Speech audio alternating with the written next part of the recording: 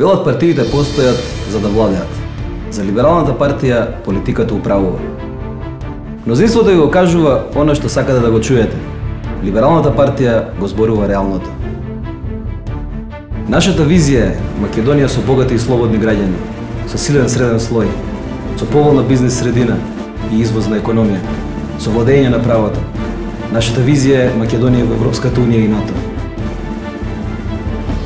Затоа, ако сакате тимска политика, ако имате став, ако сакате заедно да одлучуваме и правилно да решаваме, препознајте се во Либералната партија.